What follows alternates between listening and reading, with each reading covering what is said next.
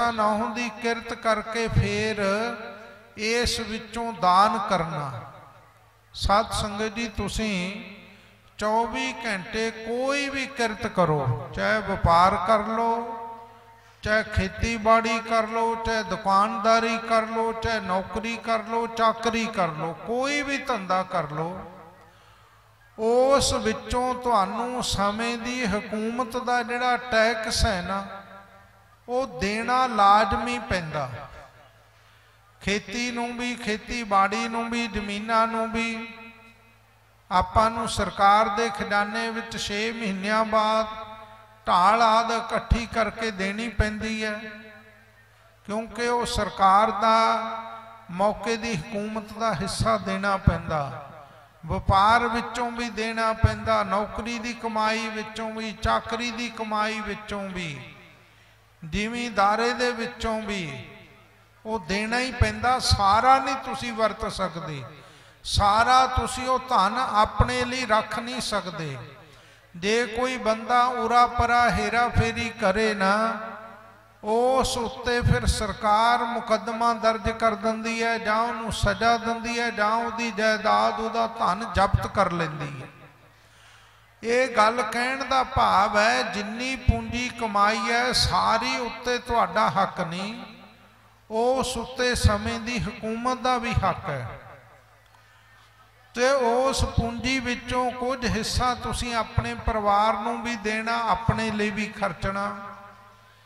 ਪਰ ਉਸ ਪੂੰਜੀ ਵਿੱਚੋਂ, ਉਸ ਧਨ ਵਿੱਚੋਂ ਇੱਕ ਹਿੱਸਾ ਹੈ, ਜਿਹੜਾ ਪ੍ਰਮਾਤਮਾ ਦੇ, ਗੁਰੂ ਦੇ, ਵਾਹਿਗੁਰੂ ਦੇ ਨਿਮਿਤ ਕੱਢਣਾ ਹੀ ਕੱਢਣਾ ਹੈ। ਗੁਰਬਾਣੀ ਵਿੱਚ ਆਇਆ, ਦਸ ਵਸਤੂ ਲੈ ਪਾਛੈ ਪਾਵੈ, ਏਕ ਬਸਤ ਕਾਰਨ ਬੇਖੋਟ ਗਵਾਵੈ, ਏਕ ਪੀ ਨਾ ਦੇ 10 ਪੀਹਰ ਲੈ ਤਾਂ ਮੂੜਾ ਕਹ ਕਹਾਂ ਕਰੇ। ਭਾਵ ਜਿਹਨੂੰ ਦਸਵੰਦ ਕਿਹਾ ਜਾਂਦਾ ਦਸਵੰਦ ਖਾਣ ਦਾ ਕਿਸੇ ਨੂੰ ਹੁਕਮ ਨਹੀਂ। ਦਸਵੰਦ ਖਾਣ ਵਾਲਾ ਮਨੁੱਖ ਪਾਪੀ ਮੰਨਿਆ ਜਾਂਦਾ ਧਾਰਮਿਕ ਸ਼ਾਸਤਰਾਂ ਦੇ ਅੰਦਰ।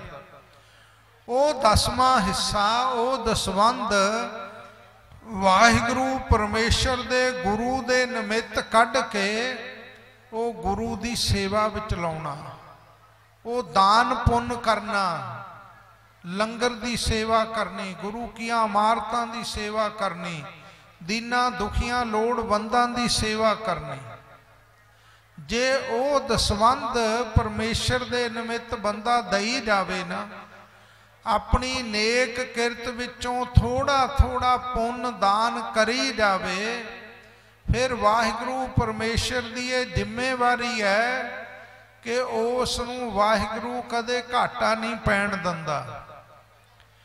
ਉਹਨੂੰ ਕਦੇ ਕੋਈ ਬਿਗਨ ਨਹੀਂ ਵਿਆਪਦਾ। ਤੁਸੀਂ ਰੱਖ ਕੇ ਵੇਖ ਲਓ ਦਸਵੰਦ ਨਾ ਦਿਓ, ਫਸਲਾਂ ਨੂੰ ਬਿਮਾਰੀਆਂ ਪੈ ਜਾਂਦੀਆਂ, ਨੌਕਰੀਆਂ ਦੇ ਵਿੱਚ ਬੜੀ ਵੱਡੀ ਅੜਚਣ ਪੈਦਾ ਹੋ ਜਾਂਦੀ ਹੈ, ਵਪਾਰ ਵਿੱਚ ਘਾਟੇ ਪੈ ਜਾਂਦੇ ਆ। ਔਰ ਤੁਸੀਂ ਦਸਵੰਦ ਦਈ ਜਾਓ ਤੇ ਪਰਮੇਸ਼ਰ ਆ ਫਸਲਾਂ ਕਈ ਵਾਰੀ ਮਰ ਜਾਂਦੀਆਂ, ਜਿਹੜੇ ਦਸਵੰਦ ਦਿੰਦੇ ਆ, ਰੱਬ ਉਹਨਾਂ ਦੀ ਆਪ ਰੱਖਿਆ ਕਰਦਾ। ਸਰੀਰ ਨਰੋਗ ਰਹਿੰਦੇ ਆ, ਉਹ ਮਾਇਆ ਬਿਮਾਰੀਆਂ ਤੇ ਨਹੀਂ ਲੱਗਦੀ, ਮੁਕੱਦਮਿਆਂ ਤੇ ਨਹੀਂ ਲੱਗਦੀ।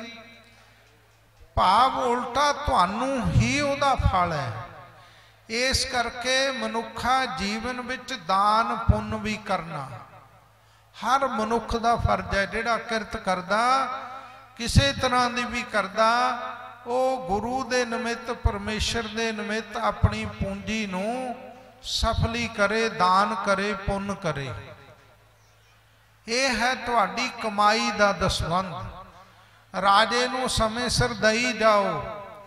ਤਾਂ ਰਾਜਾ ਕੋਈ ਵੀ ਸਜ਼ਾ ਨਹੀਂ ਦਿੰਦਾ। ਪਰਿਵਾਰ ਦੀਆਂ ਲੋੜਾਂ ਪੂਰੀਆਂ ਕਰੀ ਜਾਓ, ਫੇਰ ਵੀ ਉਹ ਸਾਰਾ ਪਰਿਵਾਰ ਦਾ ਸਿਸਟਮ ਸਹੀ ਚੱਲਦਾ। ਪਰਮੇਸ਼ਰ ਤੇ ਗੁਰੂ ਦੇ ਨਿਮਿਤ ਦਈ ਜਾਓ ਤਾਂ ਧਨ ਵਿੱਚ ਬਰਕਤ ਪੈਂਦੀ ਹੈ। ਜੇ ਨਹੀਂ ਦਵੋਗੇ, ਫਿਰ ਧਾਰਮਿਕ ਸ਼ਾਸਤਰਾਂ ਵਿੱਚ ਆਉਂਦਾ, ਧਨ ਕੇ ਭਾਗੀ ਚਾਰ ਹੈ, ਧਰਮ ਚੋਰ ਨਿਰਪ ਆਗ, ਕੋਪੈ ਤਾਪੈ ਭਰਾਤ ਤ੍ਰੈ ਕਰੈ ਜੋ ਦੇਸ ਤੈ ਤਿਆਗ। ਧਨ ਦੇ ਚਾਰ ਹਿੱਸੇਦਾਰ ਮੰਨੇ ਆ ਸਭ ਤੋਂ ਪਹਿਲਾ ਧਨ ਦਾ ਹਿੱਸੇਦਾਰ ਧਰਮ ਮੰਨਿਆ। ਜਿਹੜੀ ਮੈਂ ਵਿਆਖਿਆ ਕੀਤੀ ਹੈ ਵੀ ਗੁਰੂ ਦੇ, ਪਰਮੇਸ਼ਰ ਦੇ ਨਿਮਿਤ ਜਿਹੜਾ ਧਨ ਦੇਣਾ ਨਾ, ਇਹ ਸਾਡਾ ਧਰਮ ਹੈ ਇਹ ਧਰਮ ਨੂੰ ਹਿੱਸਾ ਦੇਣਾ ਹੀ ਦੇਣਾ, ਕੱਢਣਾ ਹੀ ਕੱਢਣਾ। ਜੇ ਨਹੀਂ ਦਵੋਗੇ ਵੱਡੇ ਭਰਾ ਦਾ ਹਿੱਸਾ ਨਾ ਦਿਓ, ਤਾਂ ਦੂਜਿਆਂ ਦਾ ਵੀ ਹਿੱਸਾ ਛੋਟੇ ਜਿਹੜੇ ਆ ਮਾਰ ਲੈਂਦੇ ਇਸ ਕਰਕੇ ਧਰਮ ਵੱਡਾ ਭਰਾ ਮੰਨਿਆ। ਧਨ ਕੇ ਭਾਗੀ ਚਾਰ ਹੈ, ਧਰਮ ਚੋਰ ਨਿਰਭਾਗ। ਪਹਿਲਾ ਧਰਮ ਹੈ। ਧਰਮ ਦਾ ਹਿੱਸਾ ਨਹੀਂ ਦਵੋਗੇ ਕਦੇ ਵੀ, ਤਾਂ ਚੋਰ ਚੋਰੀ ਕਰ ਲੈਂਦੇ ਆ, ਡਾਕੇ ਵੱਜ ਜਾਂਦੇ ਆ। ਤੇ ਤੀਜੇ ਨੰਬਰ ਤੇ ਰਾਜਾ ਟੈਕਸ ਲਾ ਦਿੰਦਾ। ਚੌਥੇ ਨੰਬਰ ਤੇ ਕਹਿੰਦੇ ਅੱਗ ਵਿੱਚ ਵੀ ਕਈ ਵਾਰੀ ਧਨ ਪਦਾਰਥ ਸੜ ਜਾਂਦਾ। ਆ ਜਿਹੜੇ ਵਿਆਦ ਕਲੇਸ਼ ਪੈਂਦੇ ਆ, ਅੱਗ ਹੀ ਹੈ ਨਾ। ਇਹਨਾਂ ਵਿੱਚ ਵੀ ਧਨ ਤਬਾਹ ਹੋ ਜਾਂਦਾ। ਇਸ ਕਰਕੇ ਭਾਈ ਮਨੁੱਖਾ ਜੀਵਨ ਜਿਹੜਾ ਇਹ ਮਿਲਿਆ ਨਾ, ਦਸਾਂ ਨੌਹਾਂ ਦੀ ਕਿਰਤ ਕਰਕੇ ਦਾਨ ਪੁੰਨ ਕਰਨਾ। ਔਰ 24 ਘੰਟੇ ਸਵਾਸ ਜਿਹੜੇ ਵਾਹਿਗੁਰੂ ਨੇ ਅਮੋਲਕ ਦਿੱਤੇ ਐ ਇਸ ਨੂੰ ਸੇਵਾ ਸਿਮਰਨ ਸਤਸੰਗਤ ਦੇ ਵਿੱਚ ਲਾਉਣਾ ਘੱਟ ਤੋਂ ਘੱਟ 2.5 ਘੰਟੇ ਸਵਾਸ, ਭਜਨ ਵਿੱਚ, ਸੰਗਤ ਵਿੱਚ, ਬਾਣੀ ਪੜਨ ਵਿੱਚ, ਪ੍ਰਭੂ ਦਾ ਭਜਨ ਸਿਮਰਨ ਕਰਨ ਵਿੱਚ ਆਪਣੇ ਸਫਲੇ ਕਰਨੇ। ਜੇ ਇੰਨਾ ਸਮਾਂ ਵੀ ਕੋਈ ਸਫਲਾ ਕਰਦਾ, ਮਨੁੱਖਾ ਜੀਵਨ ਅੰਦਰ ਕੋਈ ਨਿਯਮ ਬਣਾ ਲੈਂਦਾ, ਫਿਰ ਇਹ ਮਨੁੱਖਾ ਜੀਵਨ ਸਫਲ ਹੋ ਜਾਂਦਾ।